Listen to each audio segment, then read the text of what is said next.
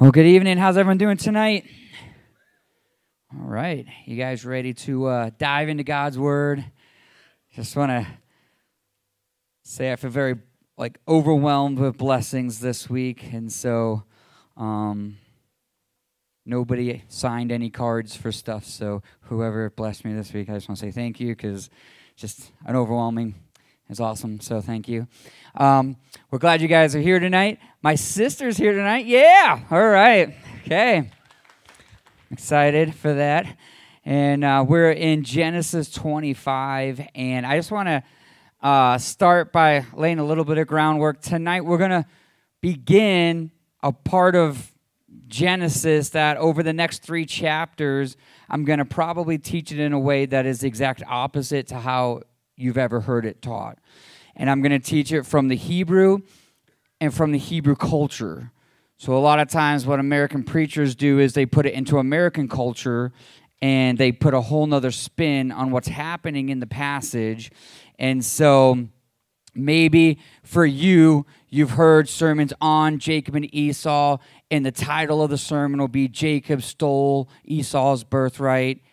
And that's actually not true. We're going to we're going to look at it from a whole different perspective. So, tonight I just challenge you that we want to be students of the word. I mean, you're here because you're, you're students of the word. So before we, we get we dig our heels and we say, oh no, that's not how I was taught. Let let's hold on. Let's look at it in the Hebrew. Let's look at it from the Hebrew culture and let's figure out what this passage of scripture is saying instead of just putting it into today's American standard. No, no, I'm just kidding. If you have that Bible, that's okay. I'm just joking. If you have that version of the Bible, it's totally okay. All right, um, let's just pray. Father, we thank you for tonight, God. We thank you for the chance to come and spend time in your word. We thank you that your word is powerful and alive and sharper than any two edged sword. We thank you that you've given us everything we need to know within the scripture, Lord God. That you were intentional in what languages you, you wrote it in, you were intentional in what words you used. And so tonight, as we dive into your word, I pray that, Lord God, that you would open the eyes of our understanding and we would see your word more clearly. In the name of Jesus, we pray pray. Amen. Okay, so quick recap uh, Sarah has died, and Isaac married Rebecca, if you guys remember that. Uh, we saw Eliezer go. He was the unnamed servant, and he went and found a bride for Isaac. And so we're going to pick it up here in Genesis 25, verses 1 and 2 is where we're going to start. So Abraham married another wife whose name was Keturah. Her, she gave birth to Zimran, Jokshan, Medan, Midian, Ishbak, and Shua. Okay, I'm sure I butchered every single one of those. All right, so Abraham takes another wife at 138 years old. Okay, he has six more sons. But I just want to clarify quick, and we're going to look at this a little bit more because there's a lot of other religions that claim to be the uh, the promise uh, the promised descendants of Abraham, and they're not. And so uh, Keturah is not Hagar. Hagar's your blank. That's not who this is. There's no hint in Scripture that she changed her name and all of a sudden it's, Ishmael's mom. That's not true. Okay, so uh, there's some religions that will say, "Oh, that's that's just another name for Hagar." It's not. Okay, so it's not Hagar, as some Middle Eastern religions believe. This is a different woman. Okay, so let's keep going. Verse 3, as I stumble over and butcher every name in this book. Jokshan was the father of Sheba and Dedan. Dedan's descendants were the Asherites, the Lesherites, and the Lumites. And the Midian's sons were Ephraim, Epher, Hanoch, Ab- Abida, and Elda. These were all the descendants of Abraham through Keturah. All right. So, uh, through through this woman, you have all these nations that are born. Okay, and so, uh, but what one of the names I want to point out is Midian. And Midian, if you remember, uh, will travel to a land, and so they they named the land that they they started after themselves, and they started their own little nations. And so the Midianites were where Moses he went out to the desert of Midian and married a Midianite woman, and so Moses' wife has lineage back to uh, back to Abraham okay? Moses' wife. And so we talked about the importance of picking the right wife. Hallelujah. Okay so picking the right wife. And we saw that those that that that uh, rejected God and didn't want God, and we're going to look at it a little more here. They found their wives in ungodly places, and those that pursued God went out of their way to find people with the right lineage because it needed to be a daughter of promise, not a daughter of the flesh. Okay, so just fun fact: Moses' wife has lineage back to Abraham.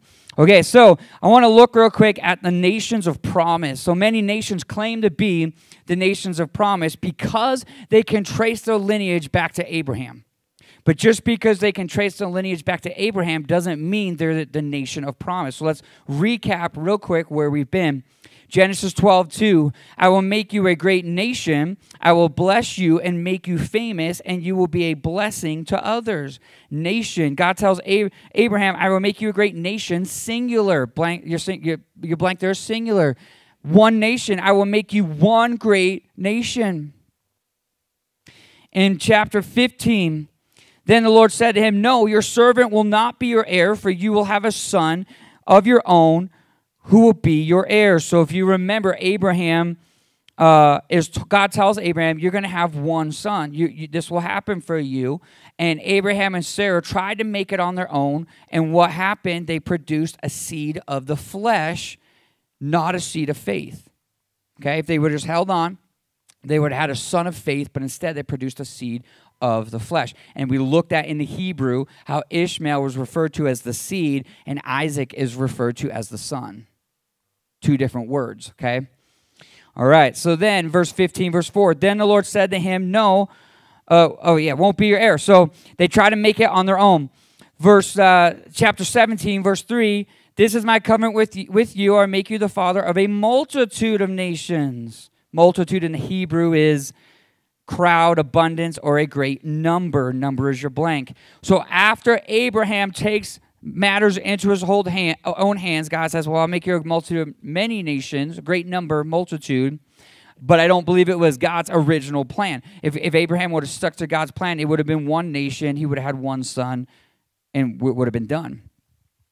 And so, um, in uh, 17, verse 15, it says, Then God said to Abraham regarding Sarai, your wife, her name will no longer be Sarai. From now on, her name will be Sarah and I will bless her and give you a son from her. Yes, I will bless her richly, and she will become the mother of many nations. Kings of nations will be among her descendants. So the word many is not in the Hebrew, okay?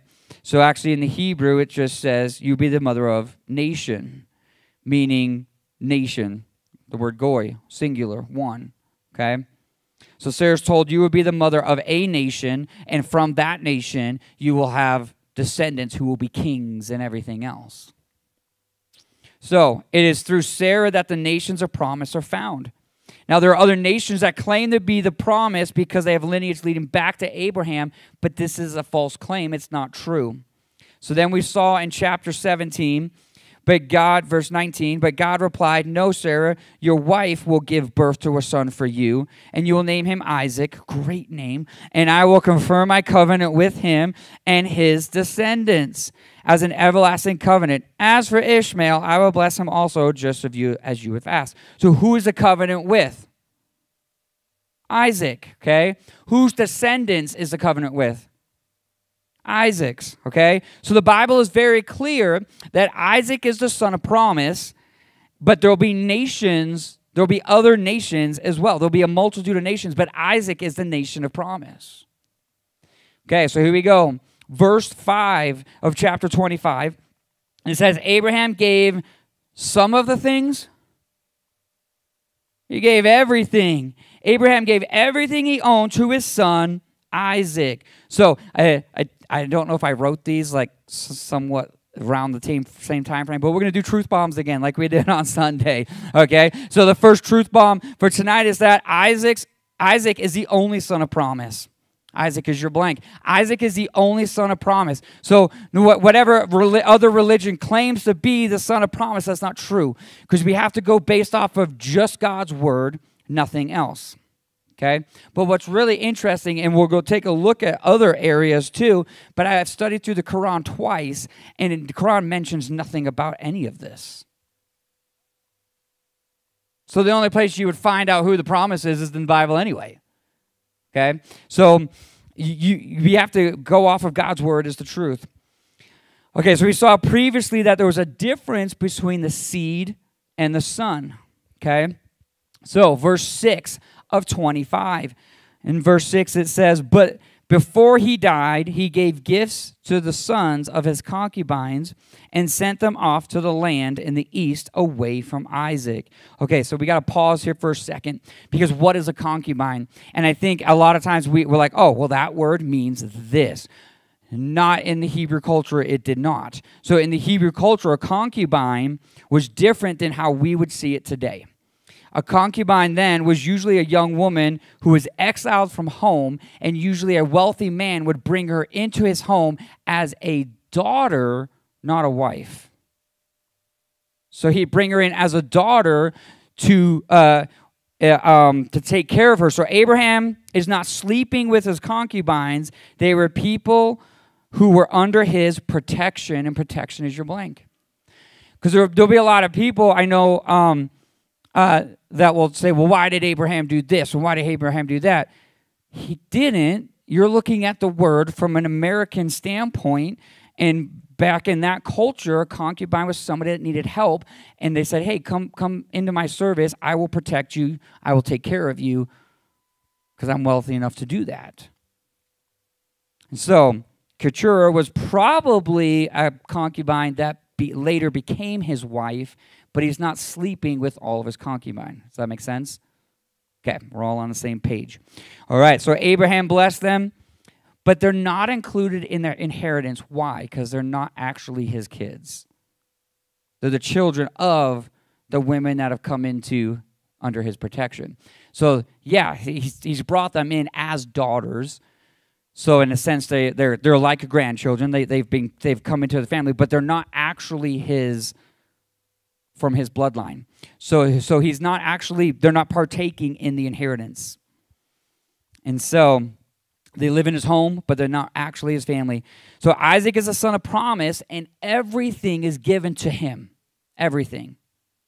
Now, up until this point, again, there's many years that pass here. We don't know. It doesn't. There's no account in our in the Bible or in the Quran that Ishmael had uh, any like contact with his dad he sent him away. And that was the last we heard of it. And so Abraham invests in God's promise and separates everything from the promise. Now, I think what Abraham's doing here is intentional. He's getting his affairs ready because he's going to die. And so we're going to see in, in a, in a uh, next week that God talks about Isaac having dim eyes and not knowing when he's going to die, but every other man of faith in the Bible knew exactly that time was close. And so he knows the time is close, and Abraham sets apart the promises of God that God gave him so that there's no confusion or false claims when he dies. I'm going to go ahead and send everybody away except for Isaac. This is the promise. This is the inheritance. I'm setting him apart so there's no confusion. I'm getting, getting rid of everything. And so sometimes in our life, you know, we, we, we muddy the waters. We know what the promises of God are, but we allow everything else to stay. And God has called us to be set apart, to set our family apart. In fact, in Deuteronomy 14 2, it says, You have been set apart as holy to the Lord your God, and he has chosen you from all the nations of the earth to be his own special treasure. So point number one tonight is we are we must be set apart. Set apart is your blank. But I'm going to go a little bit further. We as parents in the room need, need to do everything we can to set apart our kids.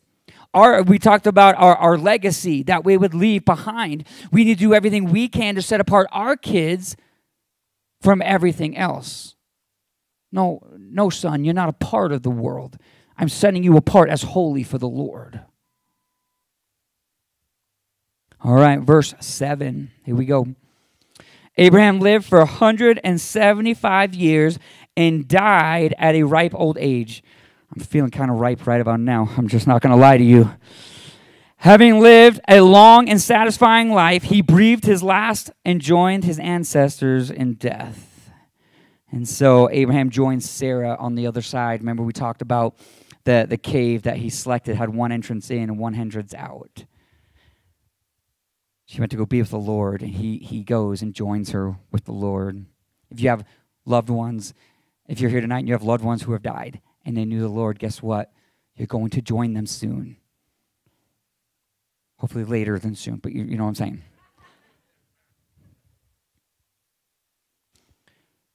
And so, but it says he's been blessed with a long life beyond 120. If you remember previously in, in, in scriptures that God promised 120 years, but he gave Abraham 175. And we know that he was blessed. Anybody remember why? Pastor's teaching on it. Obedient. Yeah, he was obedient. Okay. All right. It says he died satisfied. This word satisfied is the same word in Deuteronomy 8:10. When you have eaten your fill, fill is your blank.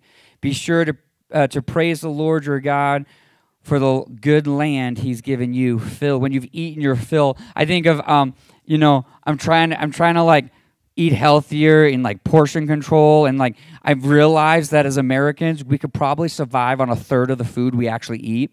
It's crazy because we just eat until we're what? Full, right?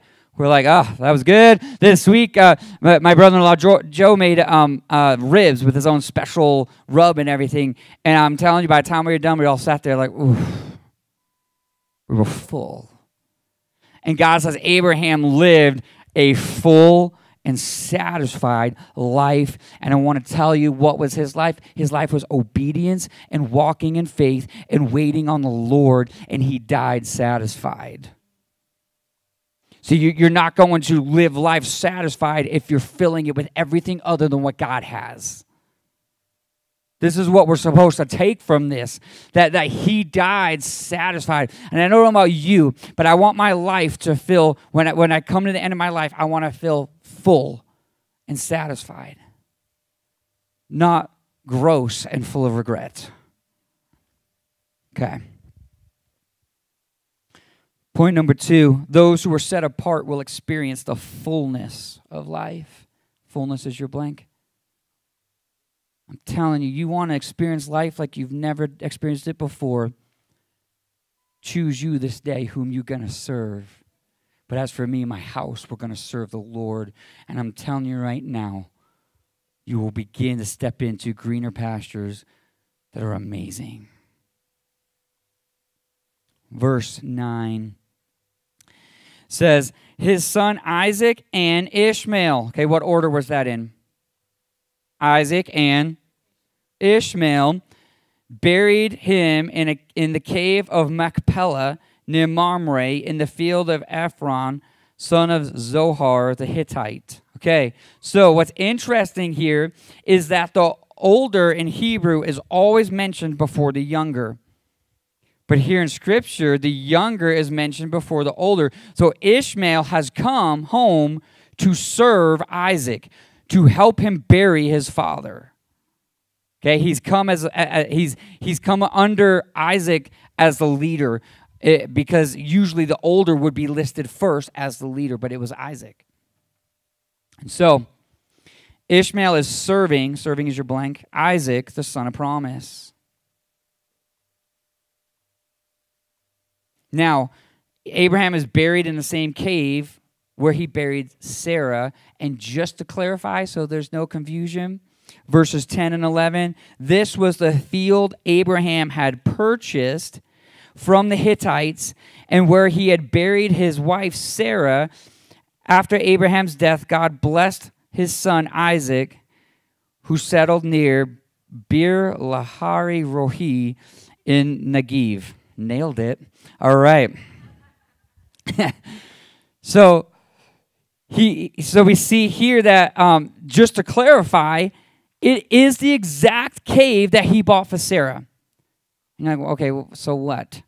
Well, the so what is this? Another truth bomb. You ready? God continued the covenant made to Abraham through who? Isaac. See, there's, there's, there's a lot of uh, other uh, Middle Eastern religions that believe that Abraham was buried somewhere else. Okay? Now, let's go to verse 12 real quick, and we're going to read through 17. And it says, This is the account of the family of Ishmael, the son of Abraham, through Hagar, Sarah's Egyptian servant. Here's a list of their names and the clans of Ishmael's descendants. The oldest was Nebaroth, followed by Kedar, uh, Ad, Adbeel, Mibsam, Mishma, Dumah, Mesa, Hadad, Tema, Jetur, Naphish, and Kadma. Awesome. Got it. Okay, keep going. And then it says, uh, These 12 sons of Ishmael became the founders of the 12 tribes named for them named after them listed according to the places they settled and camped. Ishmael lived for 137 years and then breathed his last and joined his ancestors in death. Okay. Now ishmael is where the religion of islam comes through. Okay. Now what's interesting is they believe that abraham and ishmael traveled, traveled to Mecca and built a, um, a shrine called a kebab. Kababa, something like that. Sorry, I'm really hungry right now. so, is what they claim. But what's interesting is, is like I said, I've gone through the, the Quran twice, and there's no mention of this ever happening. And there's no mention of it in the Bible. And so uh, the the shrine they think that he built, I have an image of it just so you know. It's like on my top 10 list of places I don't want to go. Um, and it's like this weird box and it's in Saudi Arabia and and they all worship at the box. Okay? But what's interesting is about these Middle Eastern religions is like I said I've I've read the Quran twice. I don't know where they're getting this from. It's all it's all lies that they've produced. And now everybody goes to this lo- like they do pilgrimages to this location to worship. So we know it's not true. Abraham was buried in hebron in israel and that abraham sent ishmael away as a teenager. Okay. Now it says he breathed his last and joined his ancestors in death. This is actually not a good translation. In the hebrew it reads he died and was gathered unto his people people in the Hebrew is am, meaning people, nation, or countrymen. Countrymen is your is your blank. So him and his mom left to go to Egypt. So Ishmael was died and buried in Egypt with his countrymen. He wasn't buried with Abraham in Mecca. Like that's there's nowhere that it even says that. Okay. All right. So Ishmael's was gathered by his people and sent. Um, Ishmael was sent away. He was not gathered with Abraham in death. He's not in Machpelah. That's not that what. There's no no scripture that says that that's where he's at. And so, um, here we go, verse 18. And so in 18, Ishmael's descendants occupied the region of Halah, to Shur, which is east of Egypt, in the direction of Ashur there they lived in open hostility. Hostility is your blank. Open hostility toward all their relatives. The statement is still true today. Open hostility on that side of the planet. Okay? So, before I say what I'm going to say next, I have to clarify. I'm not saying that if you are born in Egypt that you are a sinful person, okay? I'm saying in the Old Testament, that everywhere in the Bible in the Old Testament that Egypt was referenced, it was in reference to sin. The only time it wasn't was when Jacob comes, which we'll see later. Jacob comes, a type and shadow of Jesus as the Savior, and saves them from a famine. You guys with me? Everywhere else it's sin. So every everywhere else that we've seen so far, everybody that has gone to fi- that rejects God, I reject God, they go find their wife where? Usually in Egypt, right? Egypt or some other nation, right? They head off there, and that's where they find their wife. So, Egypt in the Old Testament, Old Testament, okay, not not right now. Egypt in the Old Testament always refers to sin. Sin is your blank. It's type and shadow of sin in the Old Testament. So in Matthew 7:20 it says, "Yes, just as you can identify a tree by its fruit, so you can identify people by their actions." Okay, so again, as we get in further in here with uh, Esau and Jacob, we're going to find out that just how they're described, you can identify them. Okay? Now, there's nothing in the Bible that suggests Ishmael was a godly man. In fact, very little is said about him except that he is tied to the land of Egypt and lives in hostility with his relatives. That's all we know about him. All right, so Abraham separated the son of promise. Now we're in verse 19. Verse 19 this is the account of the family of Isaac, the son of Abraham. When Isaac was 40 years old, he married Rebekah, the daughter of Bethuel, the Aramean, from Padan Aram, and the sister of Laban, the Aramean. Isaac pleaded with the Lord on behalf of his wife because she was unable to have children. The Lord answered Isaac's prayer, and Rebekah became pregnant with twins. But the two children struggled with each other in her womb. So she asked the Lord about it. Why is this happening to me? She asked. And the Lord told her, The sons in your womb will become two nations. From the very beginning, the two nations will be rivals. One nation will be stronger and the other uh, than the other, and your older son will serve your younger son. Okay. So Isaac has to wait 20 years to have kids. All right? 20 years. Now, another truth bomb. Even though he was the son of promise, Isaac still had to wait on the Lord, trust the Lord, and pray in faith. Wait, trust, and pray are your blanks. See, just because you accept Jesus as Lord of your life, just because you want to walk in faith, does not mean you don't have to live a life of trusting the Lord, waiting on the Lord, and praying in faith. Yeah, but I, I, I was at church. Pastor Rick preached the most amazing sermon ever.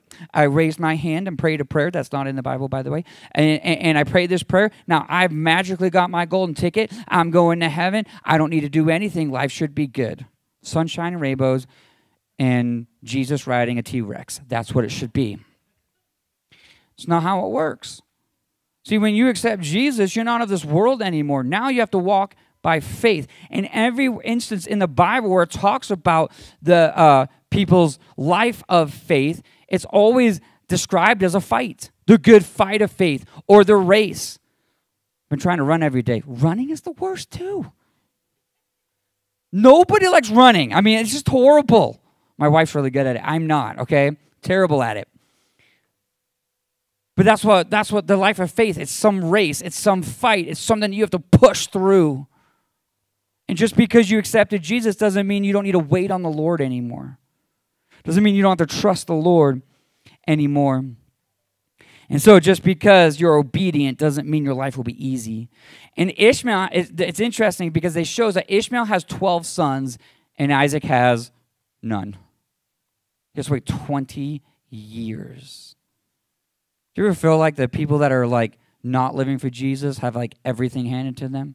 Anyone ever felt that way? I want to encourage you tonight. Do not grow weary of what is good, because in due season you will reap a harvest if you don't give up. And trust me, the harvest you want is the son of faith, not the seed of the flesh. So Isaac's prayers are not answered for 20 years. 20 is your blank. Okay, so two nations, they will be rival, one strong, one not. The older will serve the younger. The word strong in the Hebrew is amatz, meaning to be strong, alert, and courageous. Courageous is your blank. Courageous and brave. It is the same word used for courageous in Joshua 1 9. This is my command be strong and courageous. Do not be afraid or discouraged, for the Lord your God is with you wherever you go. Deuteronomy 31 6. So be strong and courageous. Do not be afraid. Do not panic before them, for the Lord your God will personally go ahead of you. He will neither fail you nor abandon you. So the word amatz in, in the Hebrew, the word amatz in the Old Testament always refers to spiritual strength. Strength is your blank. But not just phys- not physical strength, spiritual strength. If you have amatz, you have spiritual strength. Or strength found by one who the Lord is with. See, this is why it's very important to read it in the Hebrew. Because if you just said, oh, one will be stronger, well, Esau was stronger. He was the hunter. He did all these things. That's not the word that it said. It said "A amatz, spiritually strong. And so the older will serve the younger because the younger will be strong in the Lord, and the two nations will be Israel and Edom. All right, so verse 24. And when the time came to give birth, Rebekah discovered that she did indeed have twins. The first was a was very red at birth and covered with thick hair like a fur coat. Gross. so they named him Esau. Then the other twin was born with his hand grasping Esau's heel, so they named him Jacob. Isaac was 60 years old when the twins were born. Okay. Now, they give birth Esau and Jacob. Esau's name because he's hairy, and Jacob is named because he's grasping the heel. Now, this is where most common interpretations of the scripture will say that the name, uh, they'll say that Jacob, the story of Jacob, and he's a cheater and he's a deceiver. In fact, if you have an ESV Bible, there'll be a little asterisk at the bottom. It'll say that the the name that the name Jacob means he cheats. If you have an NLT, there's a little asterisk, and it'll say at the bottom that his name means heel or deceiver. Wrongo. I'm glad that they put heel in there, and we're going to look at next week what heel means in the Hebrew. Well, you have to wait till next week, but th- you got to be careful, guys. And I'm going to show you why. It's always important. Because verse 27, here we go. Everything we need to know is right here in the passage. As the boys grew up, Esau became a skillful hunter. He was an outdoorsman, but Jacob had a quiet temperament, preferring to stay home. Quiet in the Hebrew is the word tom, meaning perfect, complete, and morally innocent. Literally, the word used to describe him is morally innocent, and you're going to title your sermon Jacob the Cheater you done messed up, AA Ron, because you're not even reading it right. Okay? It means morally innocent. When the word Tom is used, it means blameless. Blameless is your blank. Starts to change the story a little bit. If you want to know where that word Tom is used, it is the same word used in Job 1 1. There once was a man named Job who lived in the land of Uz. He was blameless.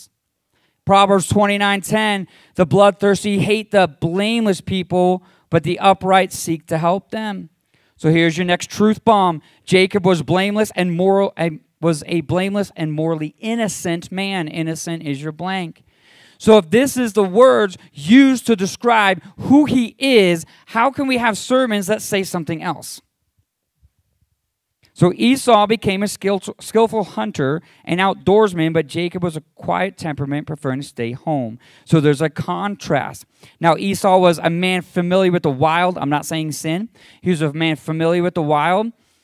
Uh, we can do this. We get busy with life, and we don't seek God too. But the word hunter here means, you ready for it? Hunter. Who is the only other person up to this point, because we've gone verse by verse, Who's the only other person that was called a hunter? Nimrod. Little interesting that if this is if this is how that word is used, you have to associate the two. Like, whoa, that's that's interesting. They use, the only other time that word has been used is Nimrod. So now the text here is talking about hunting, which is fine. So Esau was a man familiar with the wild. He was a hunter. If you remember that the symbol for, for hunt was the bow, and it meant that you were um, you could provide for yourself and you were uh, self-sufficient away from God. He's a hunter. He can provide. He can eat. He can hunt. He can do all these things. I'm good. I can take care of myself. But look at this home in the Hebrew, because Jacob preferred to be home. Home in the Hebrew means a dwelling or home, the sacred tent of Jehovah. Jehovah's your blank. You can't make this stuff up. So you've got one who is self sufficient, a man of the wild, and you have another who is morally innocent, who prefers to be at the tent of Jehovah. Starting to change the story to me. I don't know about you. So the word the word for home is derived from the word Elohim, the tent or the place of God. And so he was morally innocent and he was he preferred to be around the presence of God. He preferred to stay home. I want to be here. I want to be where God is. Genesis 25, verse 28. Here we go. Isaac loved Esau because he enjoyed eating the wild game, but Esau, that the game Esau brought home, but Rebekah loved Jacob. Now we're going to look at this more next week because we're going to back up, start over, and go further next week. But Isaac favored Esau because of the food he brought. Isaac loved Esau for fleshly reasons. But Rebecca just loved Jacob. No reasons given. Any moms in the room know that. You don't need a reason to love your kid, right? And so God had already told Rebecca what was in her womb, that one would be strong in the Lord. At this point, Rebecca is fully aware who's who. Fully aware. And so, Esau, a physical man of the wild, and Jacob, a sensitive man to the Lord. And she knows. Verse 29, here we go. 29. One day when Jacob was cooking some stew, Esau arrived home from the wilderness, exhausted and hungry. Esau said to Jacob, I'm starved. Give me some of your red stew. This is how Esau got his name, his other name, Edom, which means red.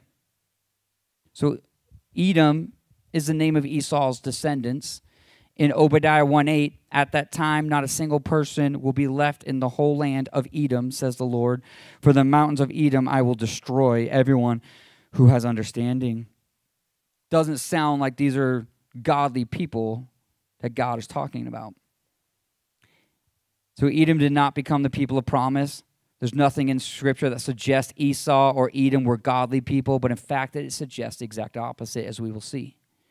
Verse 31. In verse 31, all right, Jacob replied, but trade me your rights as firstborn son. Look, I'm dying of starvation, Esau, said Esau. What good is my birthright to me now? Okay.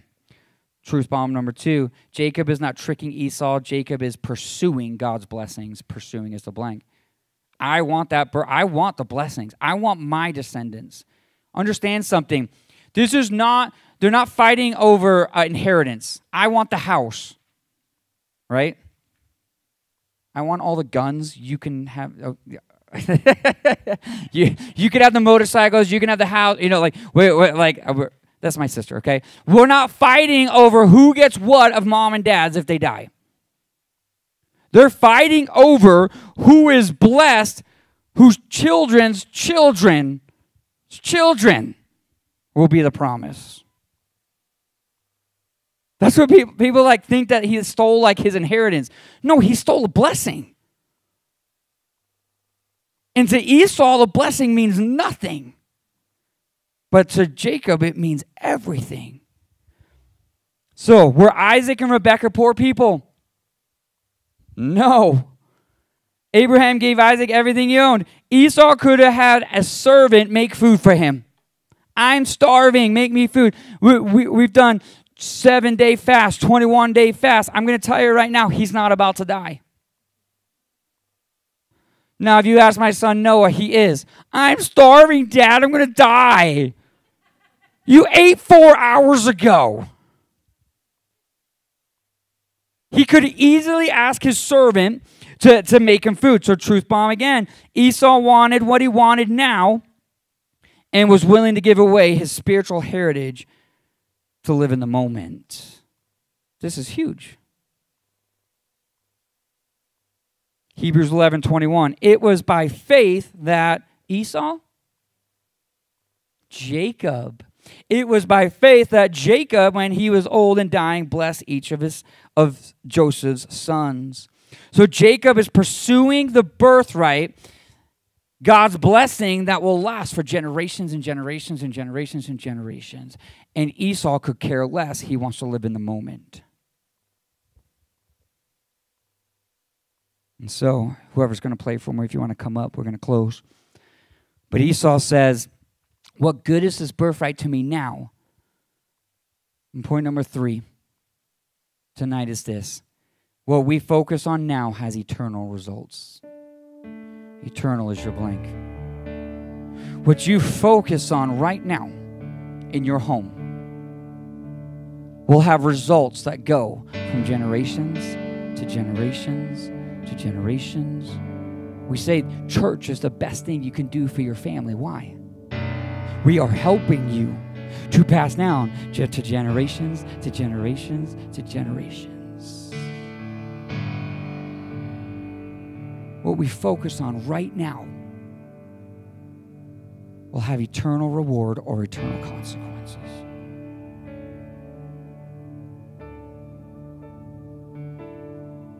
We talked on Sunday about people that say, Hey, I'm just trying to change my life. I'm trying to change my life. I'm trying to change my life. And we said the other side of the coin was humble yourself before the Lord, to humbly accept His word, to pursue the things of God and watch it transform you.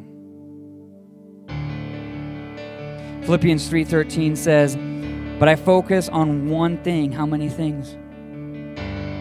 Forgetting the past, all those regrets, all those mistakes, forgetting them. I forget the past. All the hiccups and road bumps and things you re- wish you never did. I forget the past. Looking forward to what lies ahead, I press on to reach the end of the race you, you got to run, people, if you're going to be in a race. I mean, I guess you could be in a walking race, but that's weird. And receive what kind of prize? Heavenly prize. I'm going to forget what was behind, and I'm going to pursue the promises of God. And we're going to see next week what the word heel means, what the word Jacob, the name Jacob means.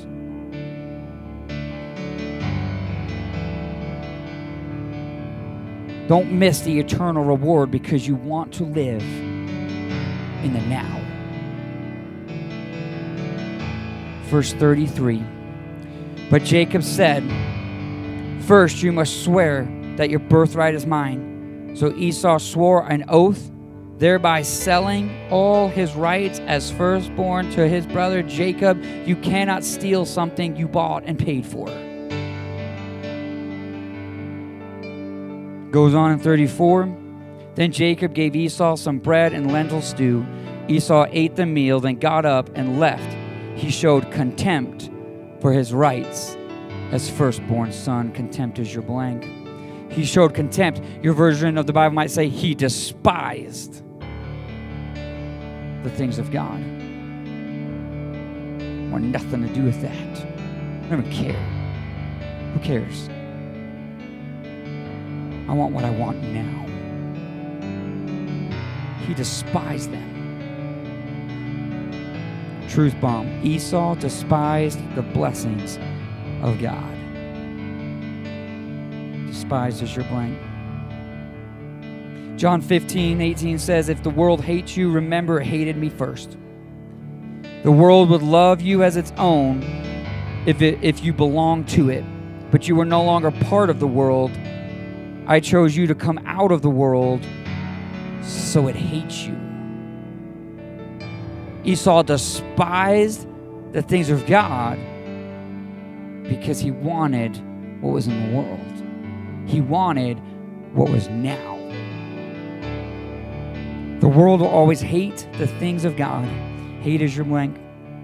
And we're going to pick up next week and we're going to look more closely. But Jacob did not cheat. He was morally innocent. He pursued the things of God. And Esau despised the things of God and gave them away. Tonight, my challenge to you is this Where do your priorities lie tonight? As, as parents, as families, as young people, where do your priorities lie right now?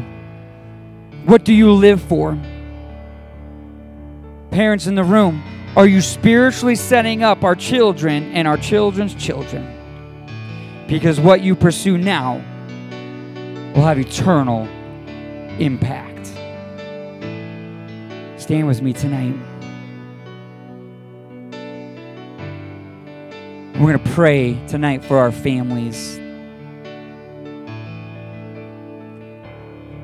But before we do, maybe you're here in the room and your focus has been is you've been busy. You know, it, it didn't say that Esau pursued sin. It just said he, he loved the wild. He loved hunting. He loved doing all these other things, and he despised the blessings of God. Have we been too busy to pursue God? So before we pray for our families, we need to take care of business ourselves. Can we do that tonight? Just right where you are. Just close your eyes. Just raise your hands up. Father God, we thank you for tonight. God, we thank you for the chance to push the restart button. From this moment forward, forgetting what was behind, we are going to run to what is ahead. We are going to pursue what is ahead. Pursuing you. Father, I pray that we would run our race in such a way that we would win. Father, I pray that those in the room, those in the room that are tired and weary, if you were tired and weary in the room right now, just, just give it to God right where you're at. I am tired and I'm weary. Father, I pray, Lord God, that you would put a spirit of endurance in them. They would not give up, but they would reap the harvest that is on the way. The harvest is coming. Isaac had to wait 20 years. Abraham had to wait 100 years. But God is always faithful, for all the promises in Him are yes and amen. So, Father, right now, where we are, we let go of the past. Father, I pray for spiritual just recharge right now in this place.